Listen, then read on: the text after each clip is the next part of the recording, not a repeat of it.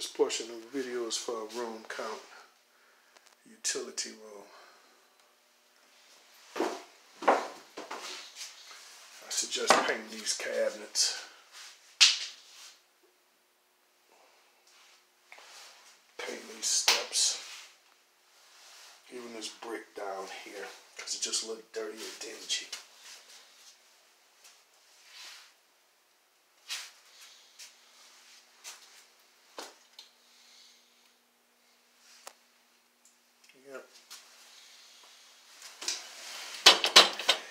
This don't get heated, so I suggest painting this, because like I said, it got that dingy look to it. They use a can of spray paint. Um, same thing was used for uh, like those uh, fire pits. They sell it at Home Depot. We could take the heat.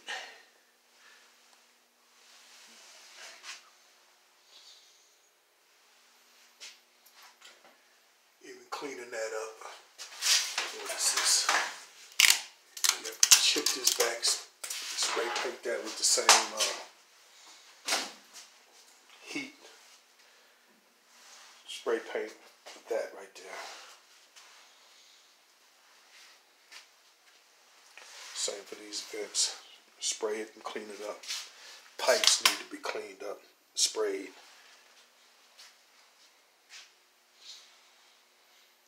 Back here, you could keep this wood, this wood look a little dingy.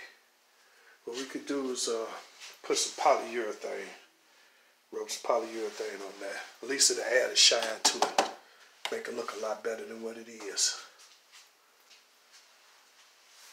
I'll definitely take that hardware down.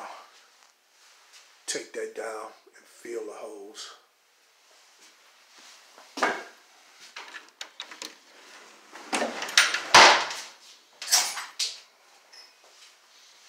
Because this kitchen is wood,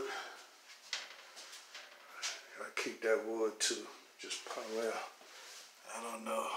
This should be replaced. Definitely replaced.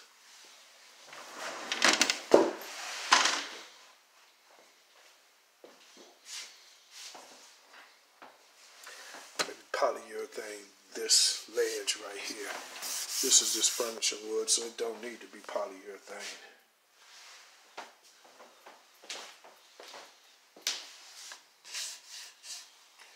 Window too. I keep this wood if you're keeping the kitchen cabinets uh, wood.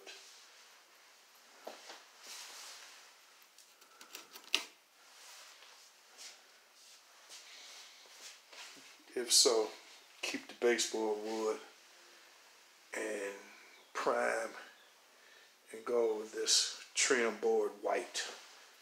Just like the white trim boards in here. I definitely changed this, prime it and change this black to white.